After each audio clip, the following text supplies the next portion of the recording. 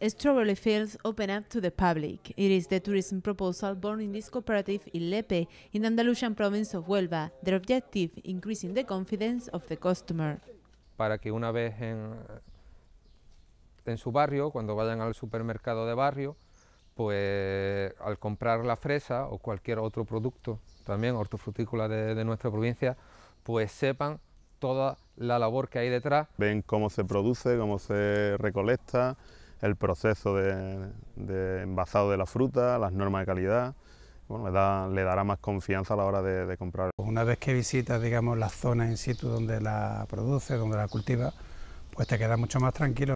A tourism enterprise in Huelva is in charge of organizing these visits, an initiative aimed at the national tourists but mostly at the international, as the international market is the main destination of these strawberries.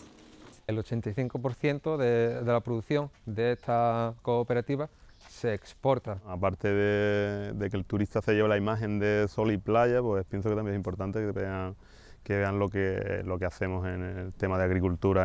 A way to end up with prejudices regarding Spanish agriculture and a different way to enjoy tourism. Mm.